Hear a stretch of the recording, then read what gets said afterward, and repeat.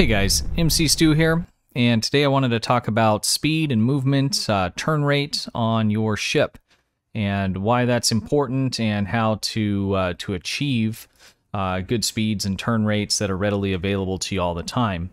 Uh, before I start, though, I did want to say a big thank you to the the overall community for all the support uh, you guys have been giving me.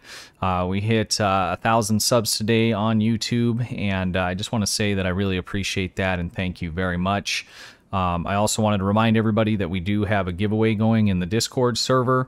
Uh, so if you want to hop over there and check that out, um, everybody is um, more than welcome to to enter that. We're giving away a Intel uh, Kelvin Timeline Dread. And uh, the winner for that will be pulled a week from this Monday. Uh, it is PC only. Um, and if you are so inclined, go ahead and jump on over there and enter into that. Uh, if you like the content that I'm putting out, uh, I would uh, greatly appreciate a sub. Drop down, hit the button, and ring the bell. Uh, so let's go ahead and talk a little bit about movement overall. Um, I, I see a lot of complaints really that are focused towards you know high DPS players where a player will get into a map and they will basically complain that they they get there and everything's dead. And that um, it's power creep and there's just too much DPS and there's certainly something to be said for for that power creep and those kinds of things. It is somewhat of an issue. I mean depending on you know if you're a casual player and you're dropping into TFOs with people that are min maxing and those kinds of things um, so I do understand that, and I'm not dismissing it, but the problem is less of the fact that they're getting there and there was too much, you know, damage output by the other team members, and so everything's dead. The problem is, is that they're getting there late, and so if you are having this issue and you are able to get there at the same time, things are still going to die, but you are going to be able to put hits in and get damage and be contributing to the team. Um, and it's important to also be able to then recover those abilities to move fast again and continue to keep up with the team. And this is important regardless of the role you're playing. If you're the tank, you need to stay with the guys doing the DPS or the Psi um, characters on the team. If you're science, you need to you know be able to keep up. Everyone needs to move as a group and, and work as a team. Um, regardless of if it's you know whether it's a you know private team or you're just pug running it. Um, having that ability to get around the map quickly is going to solve a lot of those problems where you don't have to worry about getting places and everything being dead. So again, you know, I just want to emphasize it's not so much that the other people on the team are just doing so much damage and so everything's dead and you're not being able to get to shoot at it. The issue is that you're not there when everybody else is getting there in order to be putting shots in and, and using abilities. Um, so uh, I just wanted to kind of go through that because I get that comment a lot, and uh, you know, and I will admit, I mean, you know, even if you do get there quick and you're still working on your builds, you're a casual player with other you know team members, uh, you know, pug runs, people that are putting out massive amounts of damage. You may not have the kind of time to maybe use all the abilities or the clickies that you wanted to. Um, because those things are going down so so fast. But the, the the the key is first you need to be there with the rest of the team. So let's uh, let's take a look at that. I have the um, the Vaadwaur Juggernaut up. This is one of the worst turning. Um, worst sliding ships in the game. This thing will slide off the edge of the map in an instance. Um, and I'm going to use this ship so we can demonstrate, you know, what you can do in terms of you know, turning, going fast, and being able to stop yourself in position. Um, so the other part, you know, turn rate, especially if you're running cannon builds or if you're running a beam overload build, maybe with dual beam banks, the way your ship is pointing and your ability to reorientate that ship is extremely important. And so being able to turn quickly is is huge. Um, if you're running, you know, a cannon scatter volley build or you know anything that's basically forward firing, if you're unable to reposition quickly when you want to, you're, you're going to lose out on being able to contribute quite a bit there until you're able to get into the proper position. So those are really the, the two kind of main things that we need to look at. So getting from A to B, that speed and having that speed available to you when you want it, and being able to then position your ship once you are where you want to be so that you can most effectively, you know, use your build on, on that target. And, you know, that could even be if you're a broadsider, um, you need to be broadside. And if you're not, you'll need to reposition yourself as quickly as possible so you can get those rear or front uh, beam banks going, uh, depending on your position when you showed up. Um, so let's take a look at um, how I go about doing doing this, and then what I'm going to do is I will uh, I'll do a ISA run. Um, I probably I, I, may not show the whole thing, but it, it's a good one where you know we're moving through it quick. It's point A to point B. There's a lot of there's not a lot of downtime, so I think it's the best place to really kind of demonstrate how you can keep these abilities up. And I'll kind of talk through it as we're doing it, and then I'll show you some some little tricks that I use in order to keep my ship from you know sliding off the map. Okay, um, so the first thing let's talk about, and I think probably the most important. So when I start a new toon, first thing I do when I can start opening Phoenix uh, boxes is I'm going to grab a duty officer, and I'll show you where it is here in in the Phoenix tokens. It is a rare, so it's not a super hard one to get, and it is the Emergency Conn Hologram. And what this guy does is he will give your evasive maneuvers basically 100% cooldown um, when you activate emergency power to weapons. Um, I'm sorry, to engines. I was thinking weapons because we're going to have to consider that part as well. Um, so basically, you use emergency power to weapons, and that runs for you know the eight nine seconds there that it does.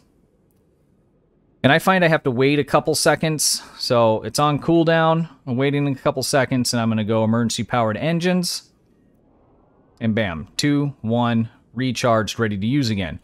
The reason I said emergency power to weapons, uh, I was thinking ahead of myself, is that it shares a cooldown with emergency power to weapons.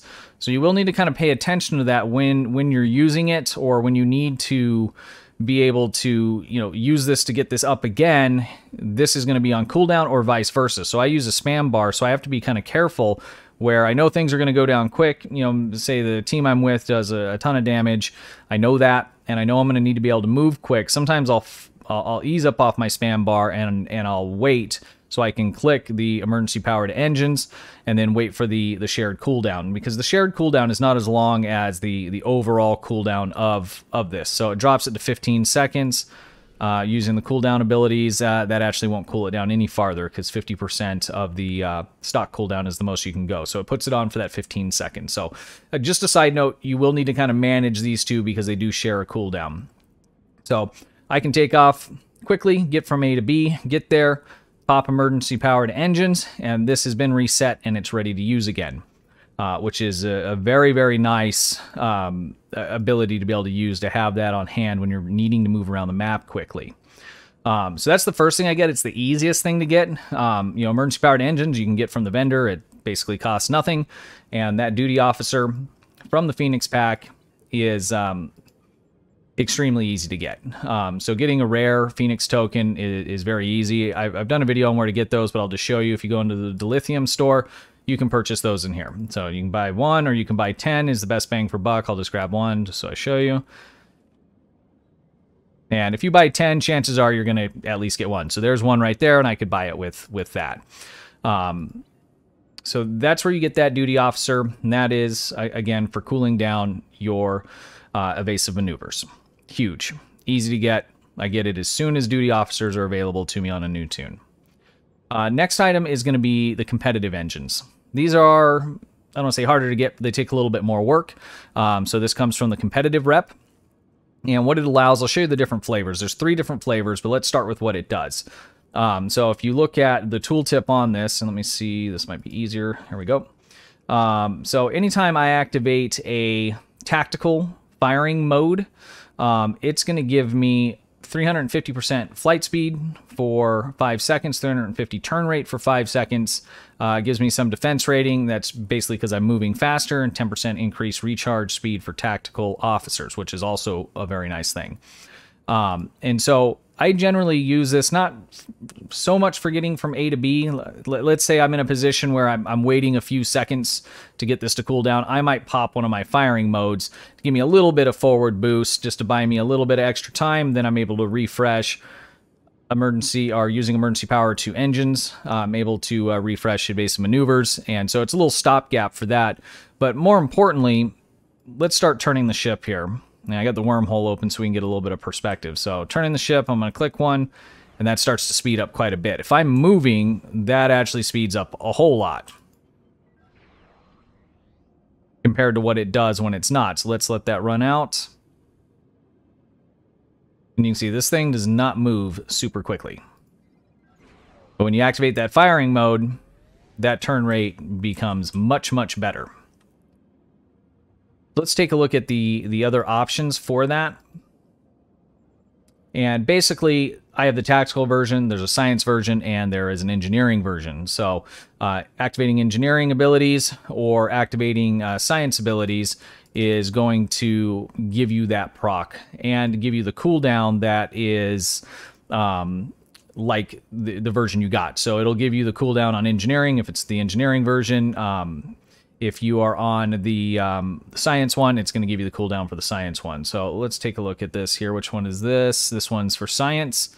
Um, so and it gives you the same the same proc basically or the same function of that flight turn rate. The only thing that changes is that additional cooldown you can get uh, for the 10 seconds for whatever kind of ability you got the engine for. So you got three different choices you can get. I own, I think I own two. No, I can get multiple. So yeah, so here is the uh, this one's the tactical one. So this is the prevailing innervated impulse engine.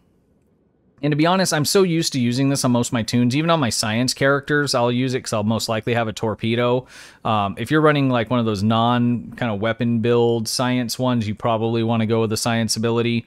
Um, I also, on a lot of my builds, not this particular one, but I'll run these firing modes on my bar. And so that's something you got to kind of get used to is that it'll just be boosting it. And I'm not really doing it on purpose.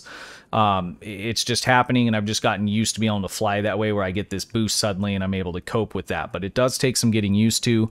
Um, the other thing that I'll do is, um, like on my free to play character right now, I'm running. Oh, what is it? It's beam overload, and um, I have torpedoes on it. And the ship that I'm in, I'm trying to remember what it is, but it had an extra tactical slot in the uh, uh, lieutenant slot, and I didn't really have anything for it, so I went ahead and did Scatter Volley 1. I don't have any cannons on it, but basically it turns it into another turn rate clicky and, you know, minor speed boost clicky. So you can use that even if you don't have the weapons and you want to add some extra movement onto um, onto your bar there, some extra uh, ability to be able to move. Um, so that's the innervated engine. Um, so that's huge. Um, I just I love having that. It, it just it, it, makes such a big difference. And like I said, most of the time it's in the spam bar, so it's just constantly kind of happening. Um, so I'm able to move around and turn quite a bit.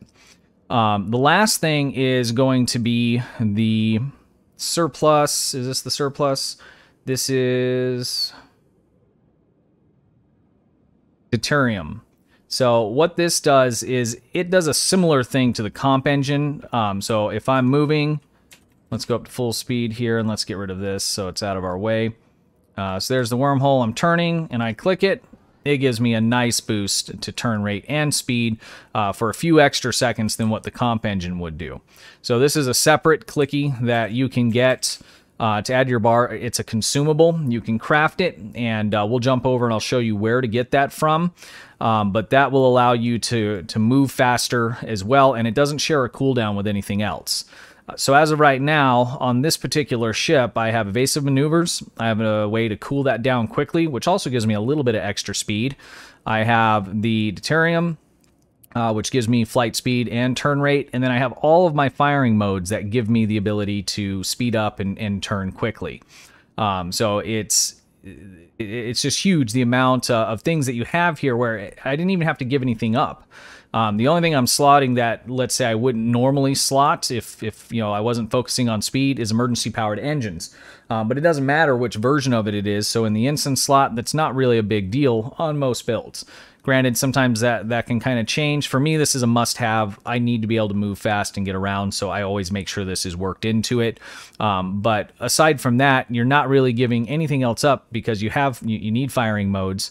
Uh, this stuff doesn't share a cooldown. You can craft it. It goes in your device slot. Um, the ship comes built in, obviously, everyone's captain's ability with evasive maneuver. Um, so with this suite of stuff here, you're going to be able to, you know, get around the map, position, and do all the things that that you need to do.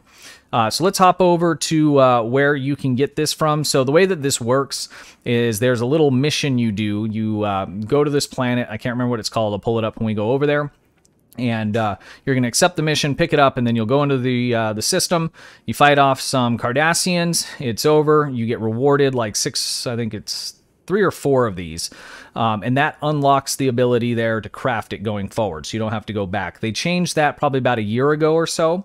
Uh, you used to have to go there daily. It had a 24 hour cooldown or a 20 hour cooldown. It was a nightmare because you had to go by there all the time in order to pick this stuff up. You can't sell it, you can't trade it. Um, so when they added it to the crafting system, uh, it was just amazing because now you can just craft it and you can build it up and keep a good amount of it in your inventory there. Uh, so let's go ahead and hop over there and I'll show you where to pick that up and then we'll do uh, a quick run and uh, I'll kind of talk through that and then also show you some piloting tricks that really help me in terms of, you know, sliding around. Okay, we are at the Alhena system. This is where we're going to come to get our deuterium surplus. Um, this is going to allow us to have the clicky for the deuterium burn, um, which gives us that extra flight speed and turn rate. Um, so once you get down here, there'll be a mission, and let me fix my screen so you can see it here. There'll be a mission down here on the bottom and uh, incoming distress signal is what it'll say. So we're going to click that and we're going to say defend contractor. So we've picked it up and we're going to uh, accept it. So it's in progress. Click out of that screen and then down here we're going to respond to the distress signal. And this is going to take us in.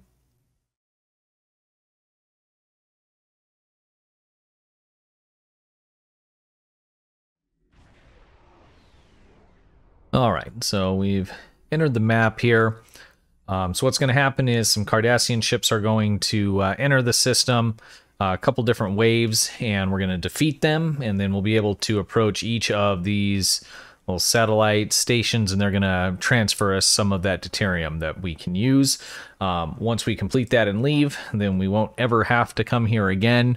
Uh, you can go repeat the mission. So if, say, you didn't have enough crafting supplies to to make them in the crafting system, you could come here and pick up a couple extra on a daily basis.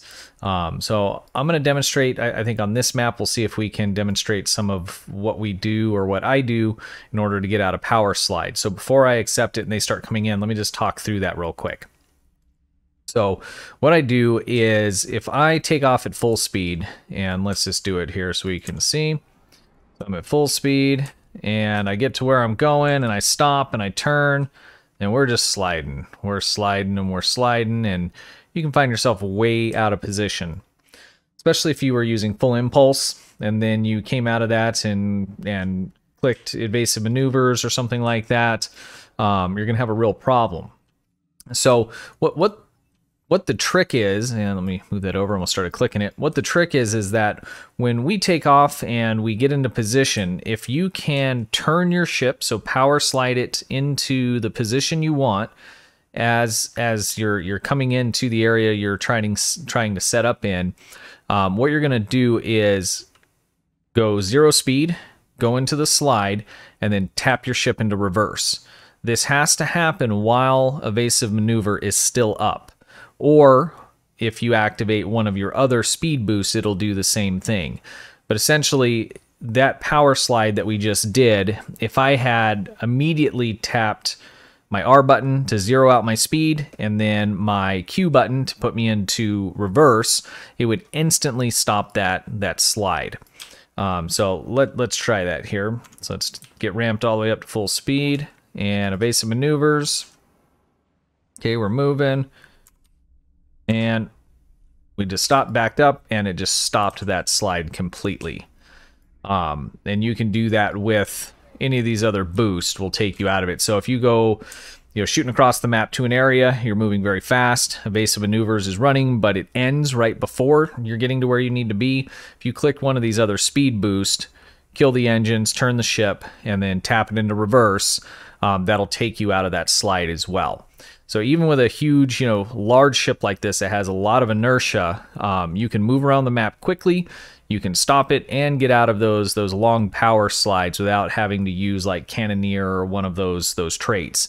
Um, it, it's a real bummer if you can master the, this little technique uh, that'll save you a whole space trait slot that can be used for something else um, that's going to be, I don't want to say more useful because it is useful to stop you from sliding around. Because if you slide out of position, then, you know, anything else on your build doesn't matter because you're out of position. Um, but if you can master, you know, the technique of getting out of that power slide, then you won't need that and you can free that spot up for something else. So let's go ahead and get these guys coming in here. So, and I'm going to kind of move around fast here so we can so pulled right out of that power slide. Tapped my beam overload, get a good turn so I can move towards this guy in range here. And I think the next ones are coming over here. Okay, my evasive maneuver is now off cooldown.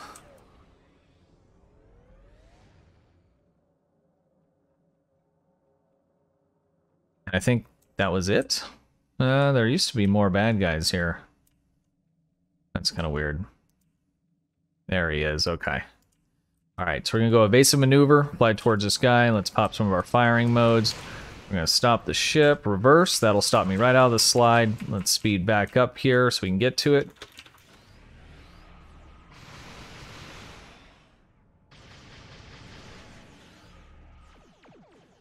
Right now, almost everything is on cooldown. And this is something I just kind of jumped into. So you are still going to... Whoa. Okay. that was interesting. And unfortunately, I can't record this section again until tomorrow, so um, I most likely will leave, leave it, but it looks like we're having a little bit of server lag there. All right, we should have one more group. So when you're playing in TFOs that you normally play in and you know where waves are coming in, you can work out your, you know, timing out which abilities you want to use when. Um, and you'll have a better, you know, kind of pre-arranged plan than just dropping into something like this. Um, so if you haven't planned that out, you definitely could still find yourself in a position where you know you don't have some of these abilities available to you. Sometimes I'll misclick things in a TFO, and things are on cooldown right when I need them, and that's just going to happen. And that's just a part of you know obviously playing the game and practicing and getting better with uh, you know with all of your abilities. Um, but by having you know these three items, the duty officer we discussed, the competitive engine, um, and then the uh, deuterium surplus, uh, you have quite a bit available to you to go fast all the time. Um, so once you complete um, those couple waves, you're going to come over to each one of these. We'll just run through this here real quick, and we're going to transport that over. Uh, we just have to go to these other two. Looks like we end up with total of three. This was a real bummer um, when you couldn't craft it. Because three is not very much. I'll, I'll use at least one a run in most cases. Swing the ship around, especially in a big ship like this. So, and I'm demonstrating this on this huge ass boat uh, that doesn't turn good. If you get into some of your smaller ships or your pilot ships, um, it can get pretty, pretty wild trying to pilot that around and it takes a lot of practice. But if you can master it, um, you're just you're going to beat everybody. So you know, even if you're still working on you know getting getting your build, um, you know the performance up on it, putting out a lot of damage, you might find that you're actually in some of these smaller ships beating some of these other people to the areas of the map and being able to get a lot more damage in while they're getting over to you. Even though when they show up, they start you know really putting the damage in. Um, you'll have a much better you know opportunity to uh, to share in those those hit points that the enemy has to offer. Um, so you know, even in a ship like this, I mean, I'm going to click everything. You know, I mean, you can really get these things turning. I mean, this is a juggernaut and it's turning a very small radius here, which is kind of ridiculous.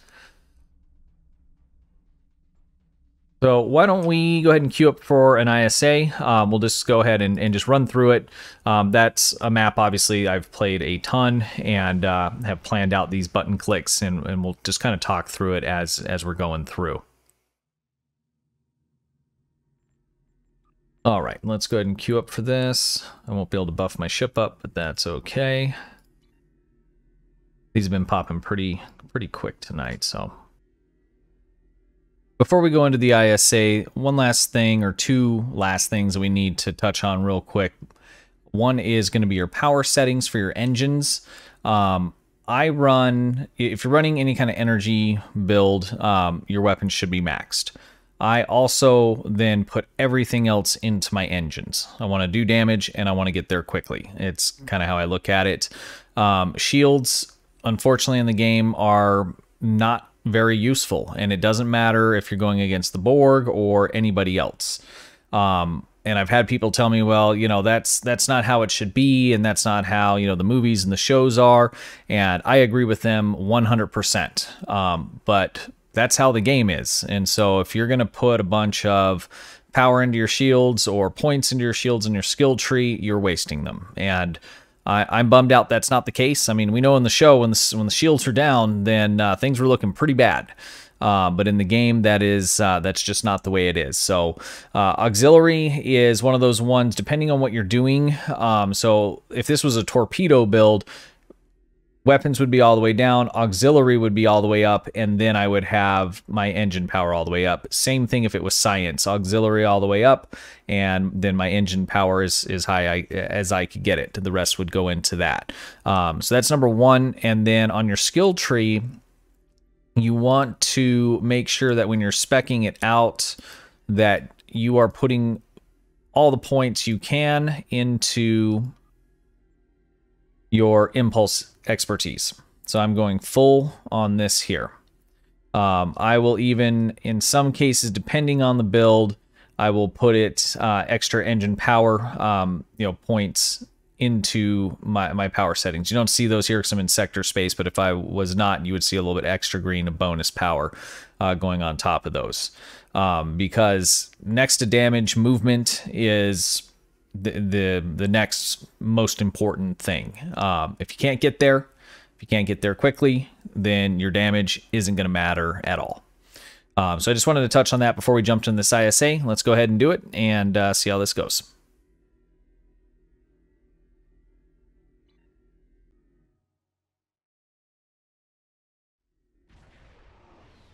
All right, so here we go. So what I generally do, and um, you can work out your own sequence um, depending on you know how you're flying your ship and how you like to to hit these things. But generally, what I'm going to do is for the initial to get up here as quickly as possible is I'm going to hit evasive maneuvers. Uh, I'm going to start firing. And as soon as I leave to go over to this area, the first transformer, I'm going to pop the deuterium uh, surplus to get me there. Once I get there, I'm going to hit emergency powered engines so I can refresh emergency power, or I'm sorry, evasive maneuvers so I can get across to the other side. Uh, once I get there and we do that, then most likely I'll use the deuterium surplus to get to the middle of the map. And I guess it'd help if I went full throttle here, so I'm going to reverse so I don't go slamming into the cube because I would otherwise. Moving up on it that fast.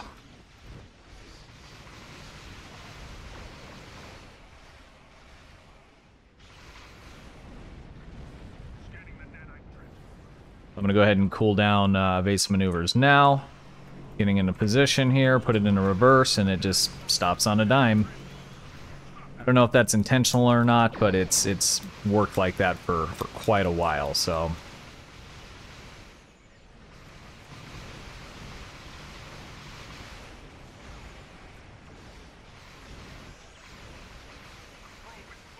Keep getting my Scatter volley is not on my spam bar. I need to make sure I'm clicking that.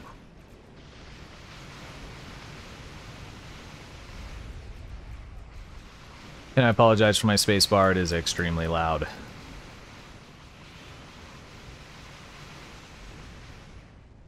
Okay, everything is dead over here. Clicking evasive maneuvers. And we're moving across the map. I think evasive maneuvers is going to run out, and it has. So I've used a firing mode there to get myself out of out of that slide.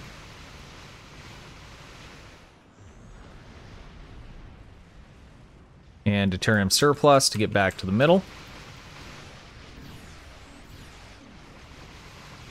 And a reverse to get out of the slide there. I'm telling you, if you don't if you don't do that reverse to get out of that slide in this ship, I would end up halfway back to the first transformer.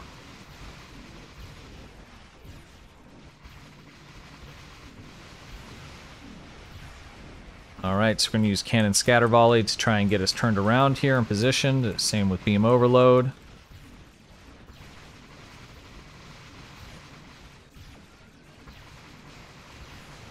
And there we go.